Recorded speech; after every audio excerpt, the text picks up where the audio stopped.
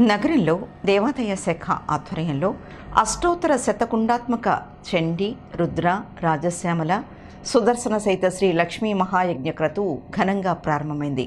తొలి రోజు రాష్ట్ర ముఖ్యమంత్రి వైఎస్ జగన్మోహన్ రెడ్డి స్వయంగా పాల్గొని ప్రత్యేక పూజలు నిర్వహించారు.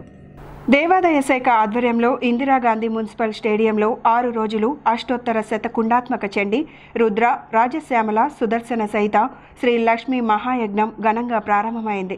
తెల్లవారుజామున ఐదు గంటలకు వేద స్వస్తి గోపూజ విఘ్నేశ్వర పూజతో కార్యక్రమాలు ప్రారంభమయ్యాయి.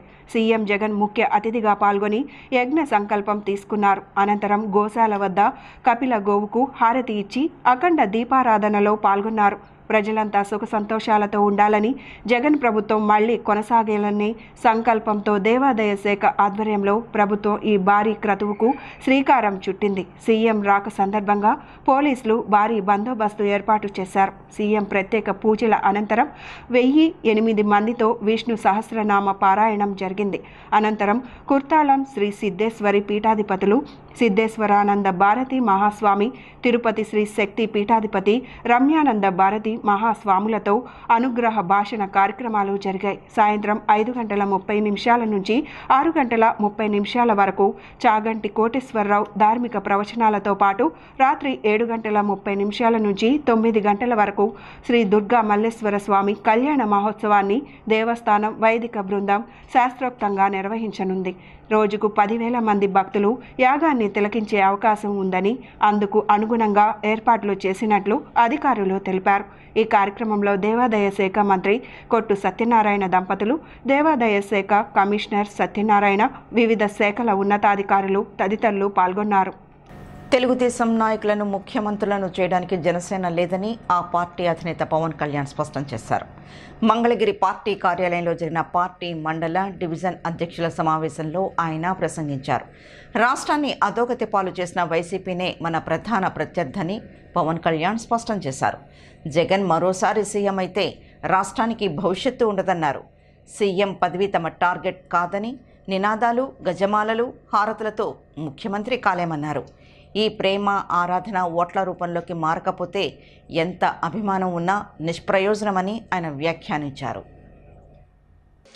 పదవినే టార్గెట్గా పెట్టుకొని చేస్తే ఏమవుద్దంటే చాలామంది నచ్చకపోవచ్చు పదం. నినాదాలతోటి సీఎం అవ్వలేం. ఓట్లేస్తేనే సీఎం అవుతాం.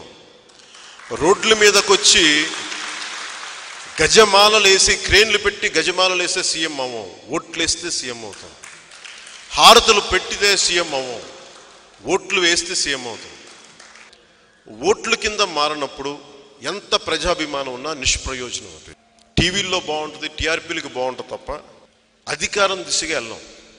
మన కనీసం ఒక నలభై నూట ముప్పై నాలుగు స్థానాల్లో పోటీ చేస్తే కనీసం మనకు ఒక నలభై ఐదు యాభై స్థానాల్లో కనుక మన ఎమ్మెల్యేలు కనుక ఉండుంటే ముఖ్యమంత్రి పదవి వచ్చే తీరాలి. తీరుండే తీరు. మరి ఓట్లు వేయకుండా మీరు ఎలా మాట్లాడతారు? కష్టాలు వచ్చినప్పుడు జనసేన పవన్ కళ్యాణ్ గుర్తొస్తారు కానీ ఓట్లేసేటప్పటికి నమ్మకం పోదు. అంటే మోసం చేసేవాడే కావాలేమో. మాయ మాటలు చెప్పి వంచేవాడిని ప్రజలు నమ్ముతారా? అందుకని ఐదు సంవత్సరాల ఈ విలువైన కాలాన్ని సద్వినియోగం చేసి ప్రజలకి మరింత అభివృద్ధి దిశగా నడిపించడం అనేది ఏ అలాగే తెలుగుదేశం నాయకుల్ని ముఖ్యమంత్రులు చేయడానికి జనసేన లేదు. అది కూడా మీరు ఇంకోసారి చెప్పండి బలంగా. అంత శక్తిని అంత ప్రజాశక్తిని మీరు ఓట్ల కింద మార్చుకోవాలి అంటే మీరు నా అంత బలంగా ఆ ఏరియాలో తిరగగలగాలి. పద్దెనిమిది స్థానాలు కూడా మనకు కల్పించలేదే. కనీసం రెండు వేల తొమ్మిదిలో వచ్చిన పద్దెనిమిది స్థానాలు కూడా మనకి ఇవ్వలేదే. అంటే నిజాయితీగా రాజకీయం చేస్తే పరాభవం ఇలాగే ఉంటుంది. అది నేను సంతోషంగా స్వీకరిస్తున్నాను. ఓడిపోయిన వాడికే దెబ్బ కొట్టి విజయం సాధించడం తెలుసు. మనల్ని ముఖ్యమంత్రి చేస్తే అభ్యర్థిగా ప్రకటిస్తే తప్ప ఎలియన్స్ ఉండదు అని చాలామంది మాట్లాడుతూ ఉంటారు. ఈ వైసీపీ నాయకులు సకల కళా కోవిదులు ఒక ఆయన ఉంటారు ఆయన. ఆయన చాలా బాధ వచ్చేస్తాయి భవిష్యత్తుని తీసుకెళ్ళి అక్కడ తాకట్టు పెట్టేశాడు ఇక్కడ తాకట్టు పెట్టేశాడు చాలా బాధ వస్తుంది. ఆ సకల కళా కోవిదులకి నేను ఒకటే చెప్తున్నాను ఈ రోజున. మీరు నన్ను తిట్టడానికి కొంతమంది బుడతలు రోడ్డు మీదకి వస్తుంటారు మీ పార్టీలో నుంచి చిట్టి చిట్టి అడుగులు వేసుకుంటూ క్యూట్ క్యూట్గా మాట్లాడతారు. చక్కటి బూతులు తిడతా ఉంటారు కదా. ఆ బుడతల్లో ఎవరో ఒకళ్ళని ముఖ్యమంత్రి అభ్యర్థికి మీరు ప్రకటించండి. మీకెందుకే మా పార్టీ సంగతి? మేమేమి లేదని మీరే అంటున్నారు కదా. మీ నాయకుడు ఏమంటాడు? నూట డెబ్బై ఐదు స్థానాల్లో నూట డెబ్బై ఐదు మనమే గెలవాలి అని మీ కాన్ఫిడెన్స్ కదా. మీ ఆత్మవిశ్వాసం కదా. జనసేన దేనికి పనికిరాదు కదా మీ దృష్టిలో? మరి మనం పట్టి పట్టించుకోకండి. వదిలేయండి మమ్మల్ని. ఎందుకు వదిలేయట్లా? మీరు టీడీపీనన్నా వదిలేస్తున్నారు కానీ మా జనసేనను వదలట్లేదే. మీకు జనసేన అంటే మీకు భయం ఉంది. ఎందుకు భయం మీకు? మేము ఏదో అవుతామని భయం ఉంది మీకు. మేము చెప్ప మన గురించి మనం చెప్పకూడదు. మనం ఏంటో మన శత్రువు మన ప్రత్యర్థులు చెప్పాలి. మన ప్రత్యర్థులు చెప్తున్నారు మనం మనం ఎంతో అది మేము నమ్మాలి. పాలిటిక్స్లో వ్యూహాలే ఉంటాయి. అహంకారాలు ఉండవు. భేషజాలు ఉండవు. ఏ పార్టీ మీద నాకు ద్వేషం లేదు ప్రేమ లేదు వ్యూహమే ఉంది నా దగ్గర. మీరు కక్ష సాధింపు రాజకీయాలు చేస్తున్నారు. మీరు ఫ్యాక్షన్ రాజకీయాలు పట్టుకొస్తున్నారు ఇక్కడికి. ఫ్యూడలిస్టిక్ ఆలోచన విధానంతో మీరు రాష్ట్రాన్ని నలిపేస్తున్నారు మీరు. ఇట్లాంటి పచ్చని చెట్లను కొట్టే సంస్కృతి మేము సహించం. అందుకని ప్రత్యర్థి ఎవరో మీరు మార్చేయండి ఫస్ట్. మీకు రోడ్లు వేయని వ్యక్తి రైతులకి న్యాయం చేయని వ్యక్తి మహిళలకి రక్షణ కల్పించని వ్యక్తి పోలవరం పూర్తి చెయ్యని వ్యక్తి ఉద్యోగులకి జీతాల జీతాలు ఇవ్వలేని వ్యక్తి. ఈ వ్యక్తి రాష్ట్రానికి నా సినిమా ఆపాడంటే నాకేముంటుంది కానీ నేను నమ్ముకున్న నా రాష్ట్రం నా ప్రజల్ని తిడితే మటుకు తాట తీసి కూర్చోబెడతా ప్రత్యర్థి వైసీపీయే. ఆంధ్రప్రదేశ్ని అధోగతికి పాలు చేసింది వైసీపీనే. చంద్రబాబు అవసరాలకు పెట్టిన టెంట్ హౌస్ పార్టీనే జనసేనని పవన్ రాజకీయాలు కూడా అతని కోసమే నడుస్తున్నాయని మాజీ మంత్రి పేర్ని నాని ఎద్దేవా చేశారు. పొత్తులపై జనసేనాని పవన్ కళ్యాణ్ చేసిన వ్యాఖ్యలపై నాని స్పందిస్తూ బలం లేదన్న విషయం పవన్ కళ్యాణ్కి ఇప్పుడు గుర్తొచ్చిందా అని ప్రశ్నించారు. రెండు వేల పంతొమ్మిదిలో చంద్రబాబుకు ప్రజల్లో తీవ్ర వ్యతిరేకత ఉంది కాబట్టే ఆ ఓటు జగన్కు వెళ్ళకుండా చేల్చడానికి పోటీ చేశాడని ఆయన విమర్శించారు.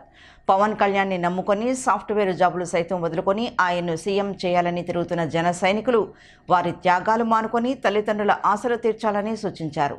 ఓట్ల కోసమే రాజకీయాలు చేయడం పవన్ కళ్యాణ్కే చెల్లిందన్నారు. ఇప్పటికైనా చిత్తశుద్ధితో రాజకీయాలు చేస్తే సీట్లు వస్తాయి రాకుండా ఎందుకుంటాయి ఇప్పుడు ఇప్పుడు ఆ వ్యాన్ కొన్నాడు తిరుగుతానని అట్టాసం ఆడంబరం చేశాడు. ఏది వ్యాన్ లోపల పెడతామేంటి అంటే ప్రజల కోసం అట్లా కదండి. ప్రజల కోసం జీవితాన్ని అంకితం చేస్తే ప్రజలు కూడా నమ్ముతారు. ఎక్కడ? షూటింగ్ హాలిడేలో మధ్యలో వర్షాలు వచ్చినాయంటే ఓ పూట వచ్చేసేసి రైతుల గురించి మాట్లాడింది తక్కువను రాజకీయాల కోసం చంద్రబాబు గురించి మాట్లాడింది ఎక్కువ కదా. రాజమండ్రి ఎందుకు వచ్చారు? అమలాపురం ఎందుకు వచ్చారు? కోనసీమ ఎందుకు వచ్చారు? పేరు రైతులది. చక్కబెట్టుకునేది వ్యాపారాన్ని. చంద్రబాబు కోసం మీరు అందరూ ఉండే నాతో ఎవడుంటే ఆడే నావాడు నేను చెప్పిన మాట ఎన్నోడే నావాడు ఇది అన్యాయం కదా. నిజంగా చిత్తశుద్ధితో జనానికి అంకితం అమ్మనండి ఎందుకు ఎవరు సీట్లు ఎన్నో కొన్ని ఇస్తారు. ఇవ్వకుండా ఎందుకుంటారు? జనం కోసమేమో మనం బతకం. రెండు వేల పంతొమ్మిదిలోనేమో నాకు సంవత్సరానికి వంద కోట్లు ఆదాయాన్ని వదులుకుని నేను వచ్చానని చెప్పి చెప్పాను మరి పంతొమ్మిది ఎలక్షన్లు అవ్వగా నా జీవితాన్ని అంకితం చేశాను. ఎలక్షన్ అవ్వగానే మళ్ళీ సినిమాల్లోకి వెళ్ళిపోయాం. వ్యాన్ కొన్నాం. అమ్మవారి పేరు పెట్టి అంతు చూస్తా ఉన్నాం. అమ్మవారి వాహనం అన్నాం. వ్యాన్ ఇది వ్యాన్ దాచేసారు ఎందుకు దాచేయటం? ఎలక్షన్ ముందు వస్తే ఎన్నికలు వస్తే తీస్తా అంటే వ్యాన్ అంటే ఇది ఎక్కడికి పోవాలి? అంటే వ్యాపారమా? ఎన్నికలు వస్తే తీస్తామని అంతేగాని ఎన్నికల కోసం మనం రాజకీయాలు చేస్తాం తప్పితే ప్రజల కోసం రాజకీయాలు చేయమని పవన్ కళ్యాణ్ చెప్తున్నాడు కదా ఇంకేం పాపం ఆయన నమ్ముకుని ఆశపడేటువంటి యువత యువకుల్ని జాగ్రత్తగా ఎవరి వ్యాపారం ఎవరు ఉద్యోగాలు చేసుకుంటే బాగుంటుందేమో మీ తల్లిదండ్రుల ఆశలన్న చిగురు నెరవేరుతాయని చెప్పని నేను కోరుకుంటున్నాను. అంటే పవన్ కళ్యాణ్ గారికి ప్రభుత్వం ఏర్పాటు చేసేటువంటి బలం లేదని ఈరోజు కాదు. రెండు వేల పద్నాలుగులో పార్టీ పెట్టేప్పటికీ ఆయనకు తెలుసు బలం లేదని. బలం లేదు కాబట్టి నేను పోటీ చేయలేదు పద్నాలుగులో అని చెప్పారు. మరి పంతొమ్మిదిలో పోటీ చేసేప్పటికీ బలం ఉందని పోటీ చేశారా? లేదు. ఇదే ఒప్పందం చంద్రబాబు నాయుడు గారితో రెండు వేల పంతొమ్మిది ఎందుకు చేసుకోలేదు? ఆ రోజు బలం లేదు కదా. బలం లేదు కదా మరి ఎందుకు పోటీ చేశారు? నూట డెబ్బై ఐదు నియోజకవర్గాలకు కూడా పోటీ చేసేటువంటి బలం లేదు కదా. నూట ముప్పై ఐదు నియోజకవర్గాలకే పోటీ చేశారు కదా. మరి చంద్రబాబుతో ఆ రోజు ఒప్పందం ఎందుకు చేసుకోలేదు? ఇవాళ ఎందుకు ఒప్పందం ఒప్పందం చేసుకుంటున్నారు?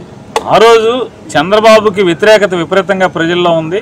ఆ వ్యతిరేక ఓటు ప్రతి ఓటు అంటే జగన్ గారికి అనుకూలమైన ఓటుతో పాటుగా చంద్రబాబు నాయుడుకి ఉన్నటువంటి వ్యతిరేక ఓటు కూడా.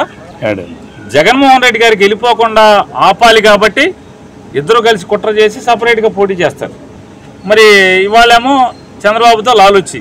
ఏతావాత ఏంటంటే పవన్ కళ్యాణ్ అనేటువంటి ఆయన చంద్రబాబు కోసమే రాజకీయాలు చేస్తాడు. చంద్రబాబుకి సహాయం సహాయపడటం కోసమే.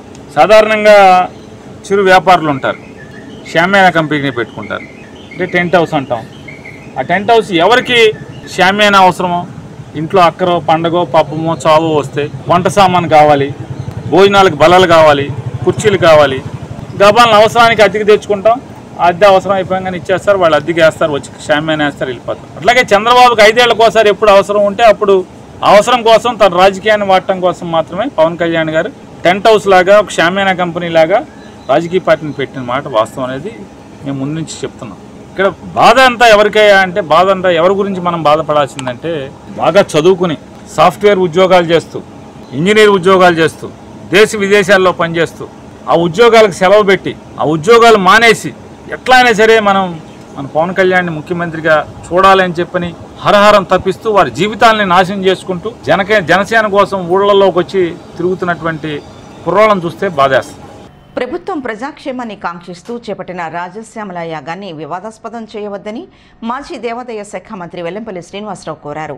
రాష్ట్రం సుభిక్షంగా ఉండాలని ప్రజలంతా సుఖ సంతోషాలతో ఉండాలనే గొప్ప ఉద్దేశంతో నిర్వహిస్తున్న రాజశ్యామల యాగంలో ప్రజలంతా పాల్గొని భగవంతుడి కృపకు పాత్రులు కావాలన్నారు. యాగ నిర్వహణపై వివాదాస్పదం చేయడం తగదని వెల్లంపల్లి అభిప్రాయపడ్డారు. మన దేవాదాయ శాఖ తరపున రామ రా- రాజశ్యామల యాగం అత్యంత అద్భుతంగా వైభవంగా నెరవేరుస్తున్నారు ప్రతి ఒక్కళ్ళు కూడా యాగంలో భాగస్వామ్యం కావాలని చెప్పని ఆ భగవంతుడి కృపకి ప్రతి ఒక్కళ్ళు కూడా పాత్రలు కావాలని మనస్ఫూర్తిగా కోరుకున్నాను. ఎందుకంటే లోక కళ్యాణార్థం చేసే యాగం ఇది.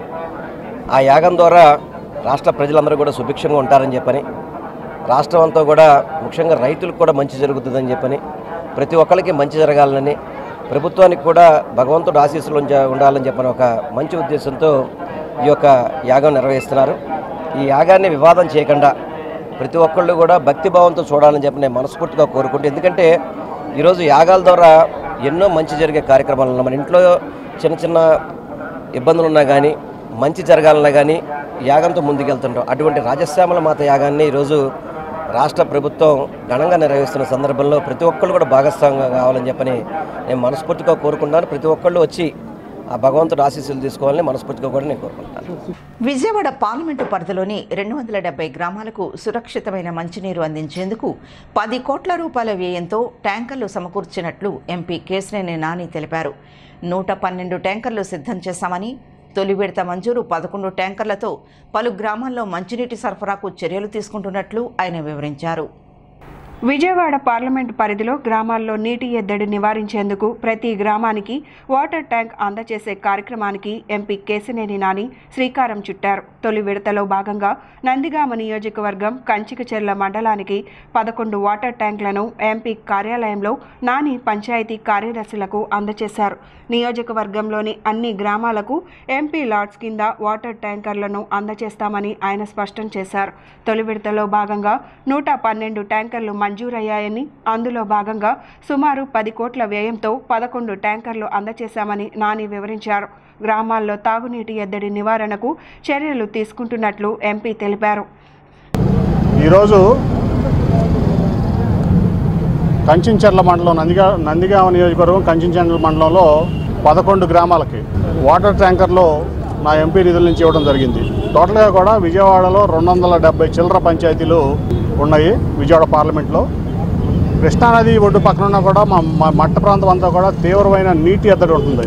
అందుకే గత ఐదేళ్ళలో కూడా టాటా ట్రస్ట్ వారి ద్వారా అనేక చోట్ల నీటి ట్యాంకులు కానీ బోర్లు కానీ వేయించాను అట్లాగే హెల్త్ సర్వీసెస్ కూడా చేసాం గత రెండు వేల పద్నాలుగు పద్నాలుగు నుంచి పంతొమ్మిది వరకు కూడా. అట్లా ఈసారి ముఖ్యంగా గుర్తించింది ఏంటంటే ప్రతి గ్రామంలో కూడా ముఖ్యంగా వేసవకాలం ఆ తర్వాత కొంత శీతాకాలం నుంచి మొదలై నీటి ఎద్దరితో తీవ్రమైనటువంటి ఇబ్బందులు పడుతూ ఉన్నారు ప్రజలందరూ కూడా. ప్లస్ రక్షితమైనటువంటి నీటి కూడా కావాల్సినటువంటి అవసరం ఉంది. దాంతో కలెక్టర్ గారిని కోరగానే వెంటనే కలెక్టర్ గారు స్పందించి అన్ని గ్రామ పంచాయతీల్లో కూడా రిక్వెస్ట్ రిక్వైర్మెంట్స్ ఏంటని కనుక్కుని ముందుగా ఒక నూట ఏడు గ్రామ పంచాయతీలకి కొన్ని ఇప్పుడు యాభై రెండు ట్యాంకర్లు నాలుగు వేల లీటర్లు అట్లాగే కొన్ని ట్యాంకర్లు ఐదు వేల లీటర్లు. ఏ కొండూరు మండలం లాంటి ప్రాంతాల్లో ఎక్కువ నీరు అవసరంగా ఉంటుంది కాబట్టి అక్కడ యాభై ఐదు వేల లీటర్ల ట్యాంకర్లు కూడా ఇవ్వడం జరుగుతూ ఉంది. ఇది మొ మొదటి విడత ఇవాళ పదకొండు కంచించర్ల మండలంలో పదహారు గ్రామాలు ఉన్నాయి. పదహారు గ్రామాలకు కానీ పదకొండు గ్రామాలకు వాళ్ళు ఇస్తున్నాం. అట్లాగే త్వరలోనే ఎవ్రీ ఎవ్రీ ప్రతి వారం కూడా ఆ ఫ్యాబ్రికేటర్ డెలివరీని బట్టి పది చొప్పున ఒక్కొక్క బ్యాచ్ పది చొప్పున అన్ని గ్రామాలకు ఇవ్వడం జరుగుతుంది. ఇంకా మిగతా నూట డెబ్బై ఐదు గ్రామాలు ఉన్నాయి. వాటి నుంచి కూడా కలెక్టర్ గారు అధికారులు అందరూ కావాల్సినటువంటి రిక్వైర్మెంట్ అడిగారు. మొత్తం విజయవాడ పార్లమెంట్లో ఉన్న గ్రామాలన్నిటికీ కూడా తాగునీటి అవసరాలకి ఇబ్బంది లేకుండా ఉండే విధంగా ఈ పథకం రూపొందించాం. దానికి పూర్తిగా నా ఎంపీ నిధుల నుంచి డబ్బులు ఇవ్వడం జరిగింది.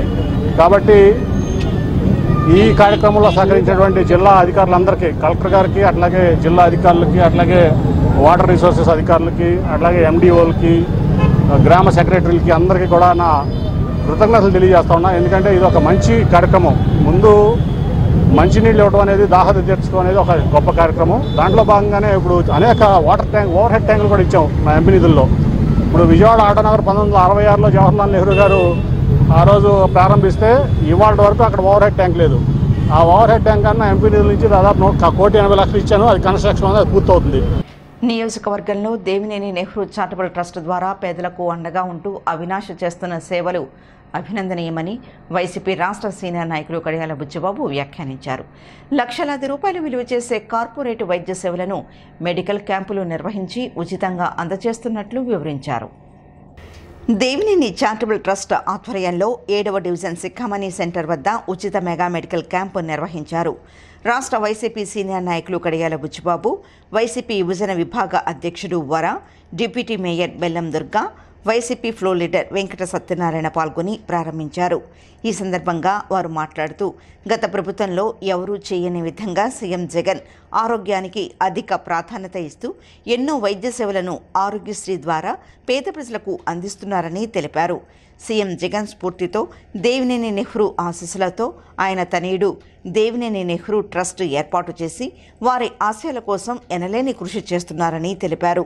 నియోజకవర్గాన్ని అభివృద్ధి పదంలో ముందుకు తీసుకెళ్ళడమే కాకుండా నియోజకవర్గ ప్రజలకు ట్రస్ట్ ద్వారా సేవలు చేస్తూ అండగా నిలుస్తున్నారని కొనియాడారు. ఈ కార్యక్రమంలో వైసీపీ నాయకులు కార్యకర్తలు తదితరులు పాల్గొన్నారు. గోల్డర్ గారు రిజిస్ట్రేషన్ నమోదు చేయడం జరిగింది. అలాగే డాక్టర్ మహబూబ్ గారు డాక్టర్ మహబూబ్ గారు పేషెంట్ టెస్ట్ చేయడం జరిగింది. ఇది ఇది విజయవాడ తూర్పు నియోజకవర్గంలో పేద ప్రజలకు అండగా దేవినేని చారిటబుల్ ఉంటుందని చెప్పని జగన్ గారి ప్రభుత్వం అండగా ఉందని నిదర్శనంలోనే ఈ చారిటబుల్ తరఫున అవినాష్ గారు చేస్తూ జరుగుతుంది. ఈ రోజు ముఖ్యమంత్రి అనేక రకమైన పేదరిక సంక్షేమ కార్యక్రమం అందజేస్తున్నారు. ఆ సంక్షేమ కార్యక్రమాన్ని కూడా అమలుపరిచే విధంగా ఈ యొక్క నియోజకవర్గంలో అవినాష్ గారు బాధ్యత తీసుకుని అందరినీ కూడా వచ్చినారనేది వెరిఫై చేసుకుంటూ చక్కగా అందరికీ అండ అంద అంద- అందజేసేటట్టుగా చేస్తూ జరుగుతుంది. దానిలో భాగంగానే ఈ యొక్క కార్యక్రమాన్ని కూడా గడప గడప తిరుగుతుంది కానీ ఇంటింటికి తిరుగుతుంది కానీ ఓటర్ వెరిఫికేషన్ ఇవన్నీ కూడా జరుగుతుంది. అదే రకంగా ఆయన సొంతంగా కూడా ట్రస్ట్ తరఫున కొన్ని లక్షలు ఖర్చు పెట్టి పేద విద్యార్థులకి ఫీజులే కానీ పేదలకి తూపుడు పళ్ళే కానీ ఇస్త్రీ పళ్ళే కానీ బళ్ళు పళ్ళ బండ్లే కానీ బడ్డీ కొట్లే కానీ ఏది కావాలంటే అది. అలాగే పేద విద్యార్థులకి ఫీజు ఫీజులు కడతాం. అలాగే పేదగా ఉన్న ఆరోగ్యంగా చూసుకోవాలి ఇన్సూరెన్స్ లేని వాళ్ళకి కొంతమందికి డాక్టర్లకి ఫీజు మందులకి ఫీజు అయ్యింది హాస్పిటల్ ఫీజు కడతాం కూడా జరుగుతుంది. ఏ ఎవరు ఇబ్బందిగా ఉన్నా ప్రజలు అవినాష్ గారి ఆఫీస్కి వచ్చి మాకు ఇబ్బంది అయ్యా మీరు మాకు కాపాడండి అంటే ఆయన ఎంతో కొంత చేతిచ్చి ఆయన నుంచి ఆయన ఆయన చేతి నుంచి డబ్బులు ఇచ్చి ఆయన పంపించే పరిస్థితి ఉంది ఇవాళ. ఈ చా- ఈ చారిటబుల్ ట్రస్ట్ తరఫున నెహ్రూ గారి చారిటబుల్ తరఫున అనేక రకమైన మందికి ఆదుకుంటూ జరుగుతుంది. కొన్ని దరిదాపుల కొన్ని వేల మందికి ఇవాళ మనం చేస్తూ జరుగుతుంది. కొన్ని వందల బడ్డీ కొట్లు ఇచ్చాం. ఇంకా ఈ నియోజకవర్గ ఈ నియోజకవర్గంలో ఎంతమంది బడ్డీ కొట్లు కావాలన్నా పెప్పుడు కొట్లు కావాలన్నా ఏ ఇస్త్రీ పెళ్ళు కావాలన్నా ఏదైనా కానీ ఇస్తే సిద్ధంగా ఉన్నారు అవినాష్ గారు. ఎవరైతే వచ్చి ఆఫీస్కి తడుతారో ఎవరైతే స్థానిక నాయకత్వాలు అవినాష్ గారు తీసుకొస్తారో అవన్నీ కూడా ఫుల్ఫిల్ చేస్తా ముందుకెళ్తూ కూడా జరుగుతుంది. మరి ముఖ్యంగా ఈ యొక్క మెడికల్ క్యాంపు దేవినేని నెహ్రూ గారి ట్రస్ట్ ద్వారా ఈరోజే కాదు గత మూడేళ్ళ నుంచి అవినాష్ గారు ఎన్నో సేవా కార్యక్రమాలు ఈ ట్రస్ట్ ద్వారా చేయడం జరిగింది. ఈ అందులో భాగంగా ఈరోజు ఈ ఏడో డివిజన్లో చేయటం అనేది నిజంగా ప్రజలకి ఒక పక్క జగన్మోహన్ రెడ్డి గారు ఎన్నో విధాలుగా ఒక పక్క సంక్షేమ పథకాలు మరో పక్క పిహెచ్ సెంటర్స్ ఎన్నో రకాలుగా జగన్మోహన్ రెడ్డి గారు ప్రభుత్వంలో అందుబాటులో ఉండి అందులో భాగంగా ఈరోజు అవినాష్ గారు ఈ యొక్క మెడికల్ క్యాంప్స్ పెడతాం అనేది నిజంగా ప్రజలందరూ కూడా చాలా సంతోషం వ్యక్తం చేస్తున్నారు. ఎందుకంటే ఇక్కడ చూడటమే కాదు ఇక్కడ ఏమైనా ఇబ్బందులు ఉన్నా ఆ హాస్పిటల్కి రిఫర్ చేసి చూడాల్సిన విధంగా పెద్దలు బుచ్చిబాబు గారు కానీ అవినాష్ గారు కానీ ఇక్కడ అక్కడ ఉన్న స్వరా హాస్పిటల్ వాళ్ళకి చెప్పడం జరిగింది. ఇలాంటి మెడికల్ క్యాంప్స్ చేసుకుంటూ మరో పక్క ఏదైతే ఈ యొక్క తూర్పు నియోజకవర్గం ప్రజలందరికీ ఈ యొక్క జీవనోపాధికి కానీ విద్యకు కానీ ఎన్నో విధాలుగా దేవినేని నెహ్రూ ట్రస్ట్ ద్వారా ఎన్నో సేవా కార్యక్రమాలు చేస్తున్నారు. ఇలాగే ఒక పక్క గడప గడప చేసుకుంటూ మరో పక్క సంక్షేమ పథకాల గురించి తెలుసుకుంటూ ఈ పక్క సేవా కార్యక్రమాలు చేసుకుంటూ అవినాష్ గారు ప్రతి ఒక్కరిలో కూడా చొరవగా వెళ్ళిపోయే నాయకుడు ఎవరైనా ఉన్నారంటే తూర్పునేశ్వర నియోజకవర్గ దేవినేని అవినాష్ గారు తప్పకుండా ప్రజలందరూ ఈరోజు కాదు ముప్పై ఏళ్ళ నుంచి ఆ గుణదల్లో దేవినేని ఫ్యామిలీ అంటే తెలియని వాళ్ళ కష్టం వస్తే వెళ్ళే చోట అంటే గుణదల అనే రకంగా చెప్పుకుని ఈ ఈనాటికి కూడా స్వర్గీయ దేవినేని నెహ్రూ గారి పేరు చెప్పి ఒక ట్రస్ట్ ఏర్పాటు చేయడం అనేది నిజంగా చాలా సంతోషంగా ఉంది. ఇందులో భాగంగానే ఈ యొక్క కార్యక్రమం కూడా చేయడం జరిగింది. ఈ ఈ యొక్క కార్యక్రమం కూడా ఎవరైతే ప్రజలు అందరూ కూడా వాళ్ళు వినియోగించుకోవాలని మనస్ఫూర్తిగా కోరుకుంటూ సాయంత్రం వరకు కూడా ఇక్కడ ఉన్న హాస్పిటల్ సిబ్బంది అందరూ ఉంటారు. వీటికి సహకరిస్తున్న స్వర యజమానానికి మా తరపున ప్రత్యేకమైన ధన్యవాదాలు తెలియజేసుకుంటాం దేవినేని నెహ్రూ గారి చారిటబుల్ ట్రస్ట్ ద్వారా స్వర హాస్పిటల్ ద్వారా ఫ్రీ మెడికల్ క్యాంప్ అనేది కండక్ట్ చేయడం జరుగుతుందండి. ఈ కార్యక్రమానికి ముఖ్య అతిథిగా విచ్చేసిన మన పెద్దలు కడియాల బుచ్చిబాబు గారికి డిప్యూటీ మేయర్ గారికి ఫ్లోర్ లీడర్ గారికి ఆరో డివిజన్ అమర్ గారికి వరా గారికి ఇక్కడ విచ్చేసిన ఏడో డివిజన్ పెద్దలందరికీ నా హృదయపూర్వక నమస్కారాలండి. ఈ కార్యక్రమాన్ని ఎంతో విజయవంతం చేస్తూ ప్రజలందరూ రావడం కూడా జరిగింది. దీనికి కూడా అందరం సంతోషిస్తున్నాము. అట్లాగే ఈరోజు చూసినట్టయితే మన దేవినేని అవినాష్ గారి తరపు నుంచి ఎన్నో ఫ్రీ క్యాంప్స్ జీవనోపాధికి నెహ్రూ గారి చారిటబుల్ ట్రస్ట్ ద్వారా ఎన్నో ఫ్రీ క్యాంప్స్ అండ్ జీవనోపాధికి ప్రజల జీవనోపాధికి ఆయన ఎంతగానో సేవ చేయడం జరుగుతుంది. తండ్రికి తగ్గ తనయుడిగా ఆయన ఎప్పుడూ నిలుస్తూనే ఉన్నారు. సేవాభావంతోనే ముందుకు సాగుతూ వస్తున్నారు. డివిజన్లో డెవలప్మెంట్తో సహా ఇట్లా ఇట్లా ప్రజలకు అందుబాటులో ఉంటూ వారికి వారికి చిన్న కష్టం వచ్చిన మనీ రూపంలో కానీ వాళ్ళకి ఫీజులు కట్టడం కానీ పిల్లల దగ్గర తీసుకోవడం కానీ ఇట్లాంటి ఎన్నో కార్యక్రమాలు చిన్న వయసులో ఉన్న ఎంగన్ డైనమిక్ లీడర్గా ఆయన ముందుకు సాగడం జరుగుతుందండి. ప్రతిరోజు డివిజన్లో ప్రతి ఏదో ఒక డివిజన్లో ఉండే నాయకులు ఎవరంటే మా దేవినేని అవినాష్ అన్నాన్ని నేను ఎంతో గర్వంగా చెప్పుకోవడం జరుగుతుంది. ఆయన చేసిన కార్యక్రమాలు కానీ ఆయన మాతో సహకరిస్తున్న విధానం కానీ మేము కార్పొరేటర్లుగా కూడా ఎంతో సంతోషిస్తున్నాము. ఇట్లాంటి నాయకుల్ని రాబోయే రోజుల్లో మన ఎమ్మెల్యేగా తీసుకుని మన డివిజన్లు ఇంకా డెవలప్ చేసుకోవాలని కోరుతూ సెలవు ఇప్పుడు కాసేపు ప్రకటనలు.